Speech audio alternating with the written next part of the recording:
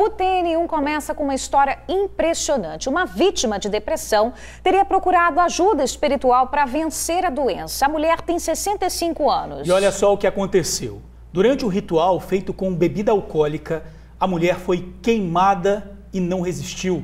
Vamos chamar a repórter Vanusa Santana, que tem detalhes para gente sobre esse caso. Ô Vanusa, já sabe se isso foi acidental? Você tem informações a respeito dessa notícia? Boa tarde para você. Boa tarde, George Bruna. Boa tarde aos amigos do TN que nos acompanham de casa. Essa é a pergunta que a família continua a se fazer, né? Se fazem o tempo inteiro. Essa tragédia aconteceu na tarde de sábado, no bairro Riviera da Barra. A pensionista Beatriz Farias Macedo, de 65 anos, teve 70% do corpo queimado durante um ritual de cura dentro de um terreiro de Umbanda, segundo familiares. Ela foi para esse lugar porque ela estava num processo depressivo e teria sido convencida pelo filho e a nora a ir até esse terreiro justamente para passar por um, por um, por um processo de cura ali. Chegando lá, é, é, quando, logo quando iniciaram os procedimentos, e aí veio toda essa tragédia. Esse procedimento teria sido feito por um pai de santo identificado como Carlinhos. Ele também teve o corpo queimado durante aí as chamas que atingiram essa, essa pensionista. Os dois é, foram socorridos, mas infelizmente, é, sábado à noite, ontem à noite, desculpa, é, a, a, pensionista acabou não resistindo aos ferimentos e morreu. A família está buscando respostas, como você me, me questionou agora há pouco, Georges, porque ninguém sabe ainda se esse, esse terreiro ali, né, esse centro espírita tinha alguma, tinha autorização para funcionar ou se funcionava de forma irregular, de forma clandestina. Eu conversei com familiares, vamos ver agora é, com, o que, que eles contaram para a gente de como que tudo isso aconteceu.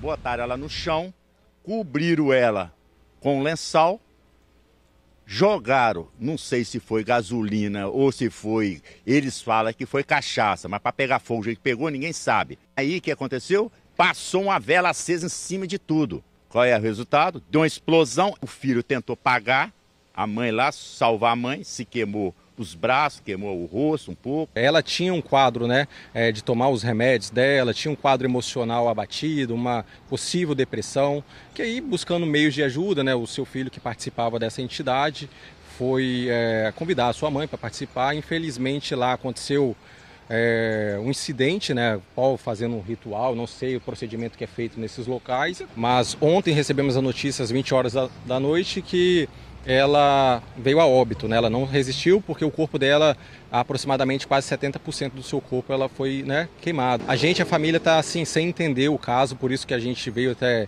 a polícia civil para investigar o caso, para a gente entender de fato o que é que acontece nesses lugares, entendeu? Uma mulher muito alegre, feliz, gostava de animais, muito humana, de bom coração, assim, ela só queria ajuda, ela só queria ajuda.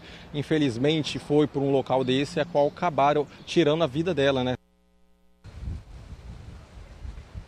Pois é, esse é, pai de santo, identificado aí por familiares como Carlinhos. Ele continua enterrar, internado e o estado dele, viu, George Bruna, é grave, tá? Agora, esse caso, essas respostas devem vir sim, porque a, a, essas pessoas envolvidas né, vão ser ouvidas aqui na divisão de homicídios em Vitória. Então, essas respostas com certeza chegarão depois que todos os envolvidos né, sejam ouvidos aqui na DHPP. Bruna e George. É, tem muita coisa para ser esclarecida parecida aí. É uma história que deixa a gente assim, chocado. Uma mulher perdeu a vida numa situação como essa, foi buscar uma ajuda, acabou saindo, né, perdendo a vida por conta do que seria um ritual. Então a polícia realmente precisa investigar. Esse local tinha autorização para estar tá funcionando, né? Essa pessoa tinha autorização para desempenhar essa função, né? Enfim, muitas perguntas e a gente, claro, vai continuar acompanhando o caso, né? Vanusa, obrigada aí, minha amiga, pelas informações. Até daqui a pouquinho.